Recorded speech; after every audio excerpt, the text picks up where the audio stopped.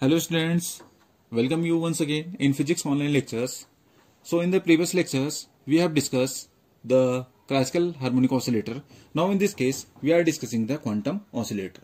And you are aware of the fact that we have discussed the classical oscillator in the previous case. We have also seen that classical oscillator the mean energy per particle was in complete agreement with the law of equipartition of energy. We will also discuss here how this uh, quantum oscillator is related with the law of equipartition energy or not. So we shall discuss in this lecture. First thing, now for we just consider here, we are considering, we consider a system of, you can just say n quantum oscillators. This is, we are considering here a system of n quantum oscillator according to which you can just see that we have n quantum oscillators according to which the energy eigenvalue for a one-dimensional harmonic oscillator is given by this h equals to this epsilon n this equals to n plus half of this h cross this omega here. What is n? n is you can just write here 0, 1, 2, 3 and so on. And so this is the energy of one-dimensional harmonic oscillator. Yeah, you can just say this is the energy eigenvalue of a one-dimensional harmonic oscillator and it is given by this term. Now, in, on this basis, once again, we shall cal uh, calculate, we have n quantum oscillator, we will calculate the single oscillator partition function. We will con consider here single oscillator partition function here. And for single particle, this partition function can be evaluated. This Q1 Vt, this is equals to summation this R gr e to the power minus of this beta epsilon or er here. What is er?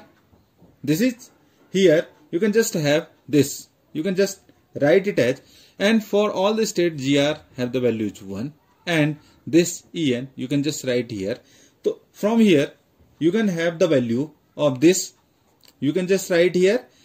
Either you can just take n each ranging from 0 to infinity here.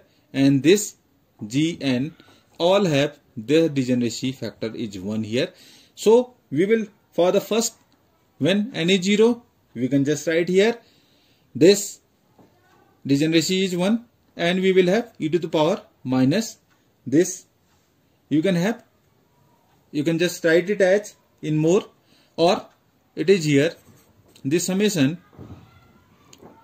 this is here n equals to 0 to infinity. It is here gr e to power minus beta. This h cross omega times of n plus half here. Now we will range the values of of n from 0 1 2 so we will have for first when n is 0 you can just write here e to power minus this beta h cross omega upon 2 here. All. Plus when we have n equals to this. 1 so we will have e to the power minus this is 3 beta h cross omega upon 2 here. When it is the value of n is 2 then we it is here n plus 1 2 plus 1 it is 2 to 4 5 by 2 then we will have e to the power minus 5 beta h cross omega upon 2 and so on there are various terms are associated now in this case, if we just take the common in this equation e to the power minus beta h cross omega upon 2. I am just taking common this minus this term suppose.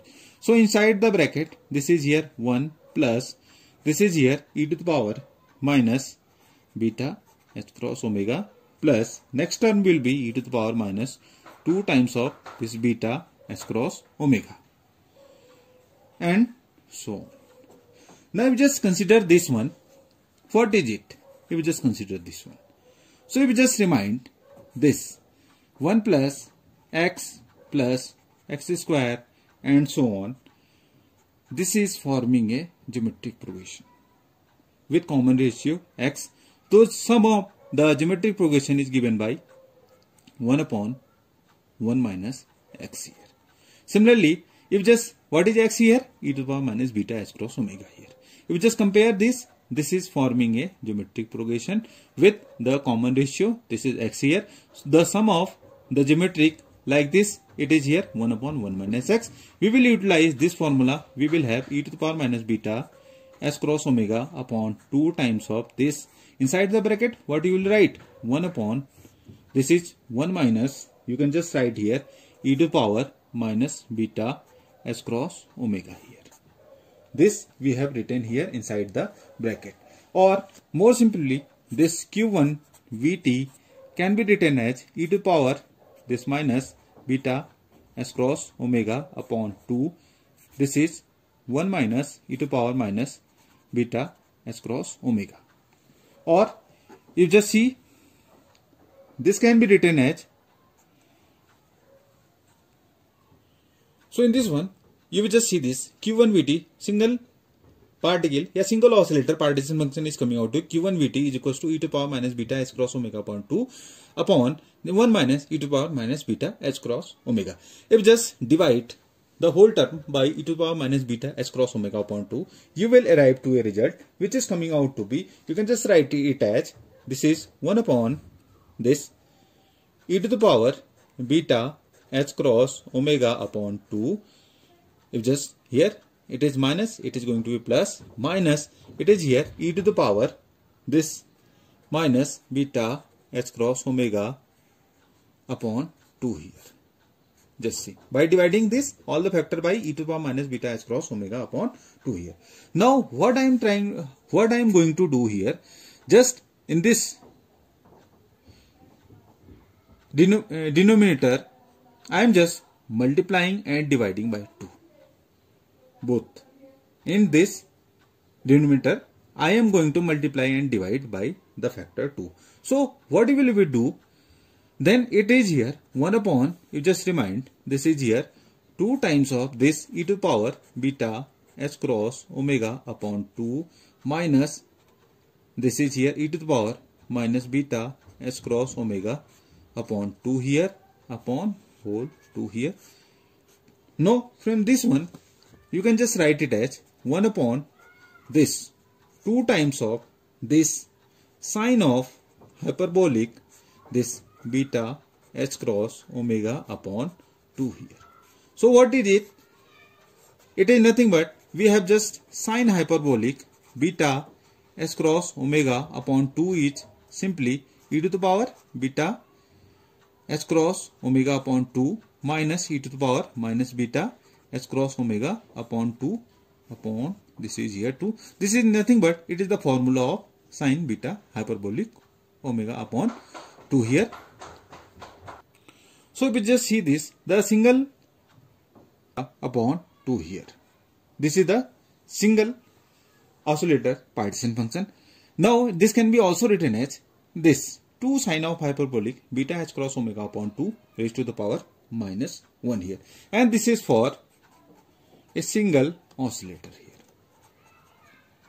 So we have calculated in this case the partition function for a single oscillator. Now for n particles what we'll do? We have for nth particle or for n oscillators this Qn Vt can be written as this is 2 sine of hyperbolic this is beta h cross omega upon 2 raised to the power it is minus n. It is for n harmonic oscillators here.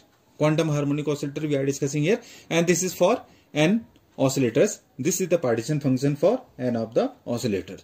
So this is very important crucial result when we are discussing the quantum harmonic oscillator या quantum mechanical harmonic oscillator which have the eigenvalues n plus half h cross omega. On the basis of this, we have arrived to a result for n harmonic oscillators. We have the value of this partition function is 2 sine of hyperbolic beta h cross omega upon 2 raised to the power minus n here. So we have the partition function for n oscillators. So we can generalize the our results for the calculating this Helmholtz free energy.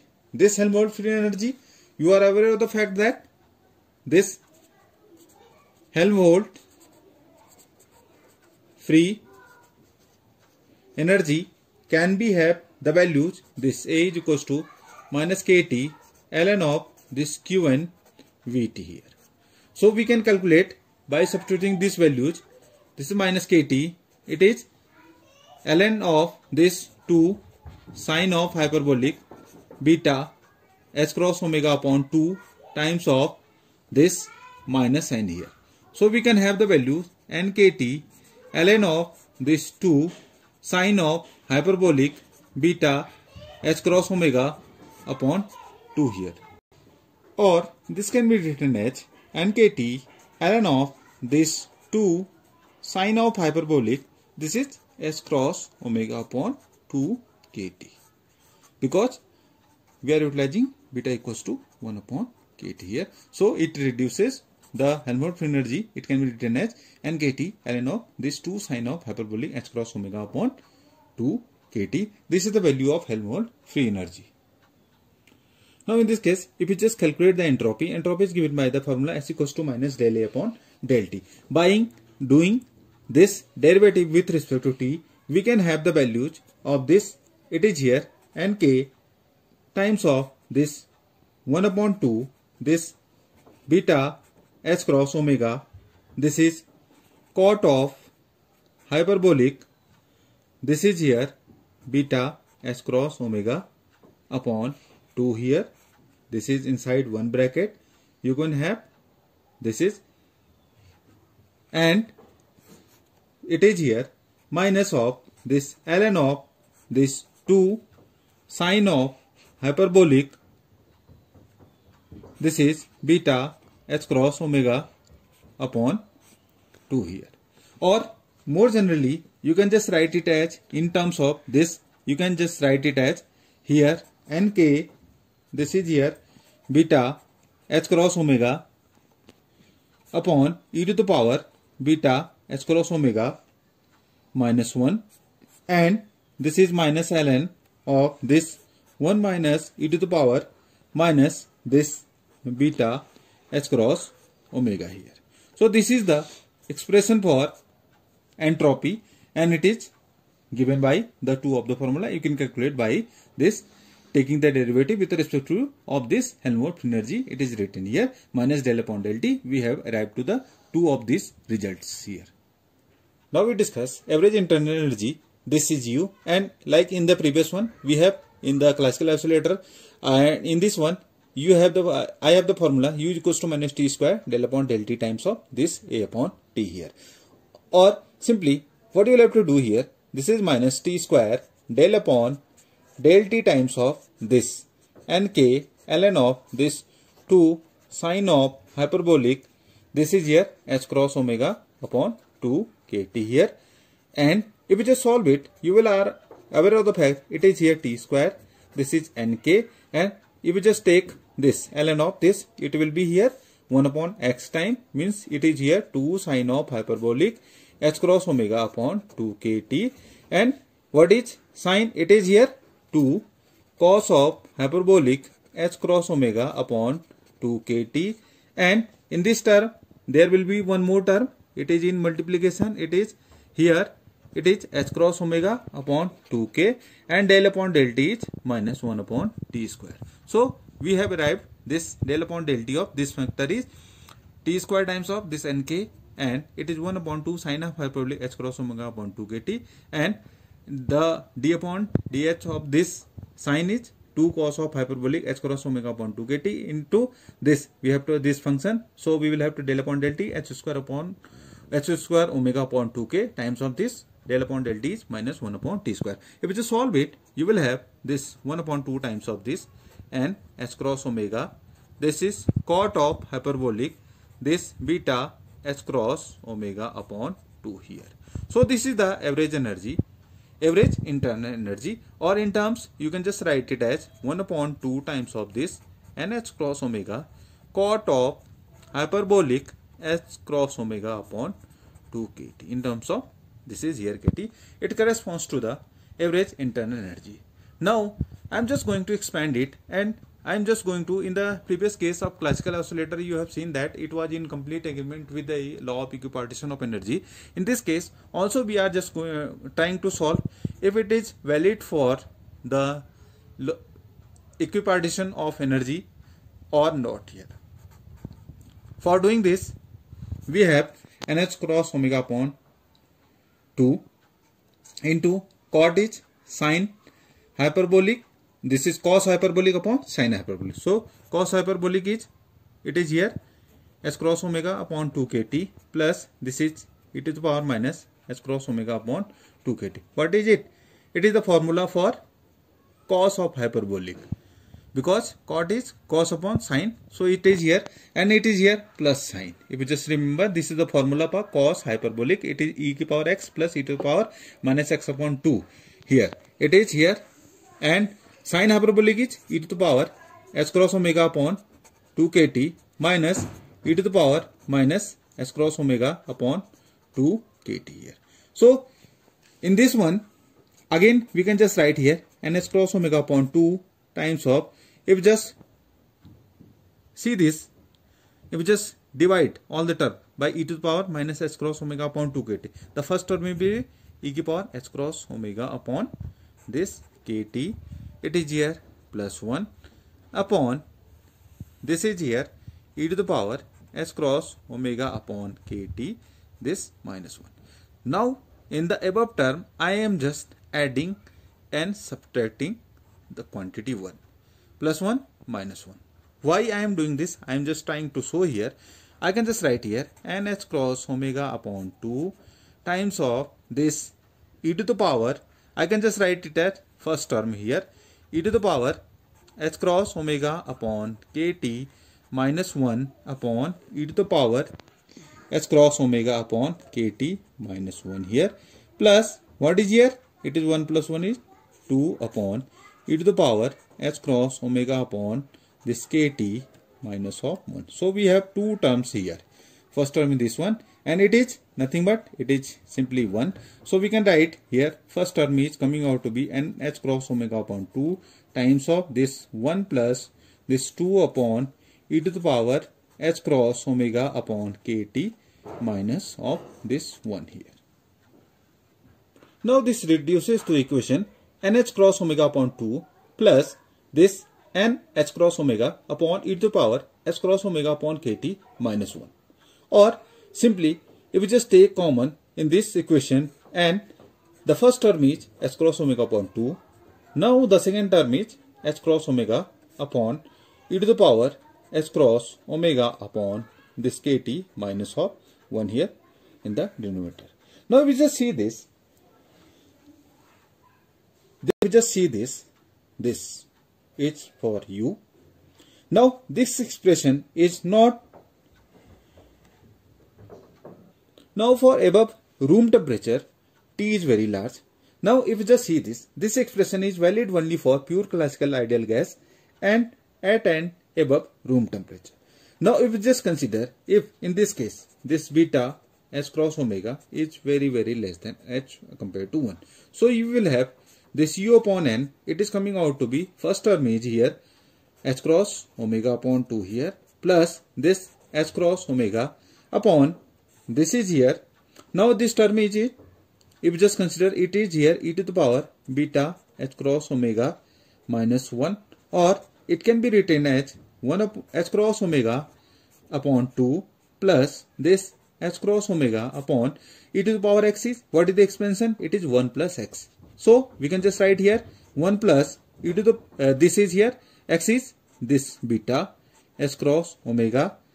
Other terms will be going but because this factor is very much as less compared to more uh, other factors will be going to be much more lesser as compared to 1 so we can neglect the other terms and it is minus 1 which is already present in this equation. Now this it is going to be cancelled with this one and we are left with h cross omega upon 2 plus this is here. You can just see h cross omega is going to be cancelled and we are left with this kt now you can just see that this mean energy per particle u upon n is having the value h cross omega upon 2. It is the term which is coming out to be addition. It was absent in the case of the classical oscillator because for the classical oscillator you have seen this u upon n it is kt. So it was in complete agreement with the equipartition theorem. You can just say that. Now in this case this term is additional here. So equipartition theorem is not valid for quantum oscillator. Not this valid for you can just say quantum oscillator equipartition theorem is not here valid. Because you can just see this the mean energy per particle is greater than this kt because this term or because of this term. It is greater than kt. So equipartition theorem is not valid for the quantum oscillators and you can just see here. This is the basic difference between quantum oscillator and classical oscillator. Quantum oscillator, this mean equipartition theorem is not valid. For the classical oscillator, it was in complete agreement with the equipartition theorem. Like we have discussed the pressure in the case of classical oscillator, in the as well in the harmonic oscillator, quantum harmonic oscillator, this pressure is again going to be 0 because minus del upon del V is coming out to be 0. Similarly, I am going to discuss here chemical potential. This is mu equals to del upon del N. So we have the values of A. If we just solve it, you can have the values. It is coming out to H cross omega upon 2 plus KT times of this ln of 1 minus e to the power minus beta H cross omega and it is for the chemical potential mu. Like this specific heat values Cp and Cv, specific heat at constant pressure and constant values are again going to be equal here. You can have this values del E upon this del A upon this you can have del U upon del T. What are the quantity? N and V are going to be constant. So we can have the values. This is Nk beta h cross omega upon 2 whole square and cot this is the derivative if just differentiate it is cosec hyperbolic square beta h cross omega upon 2. In this, we can have this modified modified formula for this. You can just have this is nk beta h cross omega whole square e to the power beta h cross omega upon this is here e to the power beta h cross omega minus 1 to the whole square. Like the Cp and Cv's values for the classical as well as quantum oscillator, they are having the same value this is given in the quantum oscillator. It have the value this one. Now, one important fact that if we have this term, kt is very, very greater than h cross omega. So, we can have all the results approaches to the classical result when we have this term kt is very, very greater than as compared to h cross omega. We approach to the classical result. So, in this lecture, we have discussed the partition function of quantum harmonic oscillator. So in the quantum harmonic oscillator, the basic difference between this is that the, we have discussed classical harmonic oscillator and the quantum. In the quantum uh, classical harmonic oscillator, you can just say that equipartition theorem is going to be valid because it is a classical phenomenon.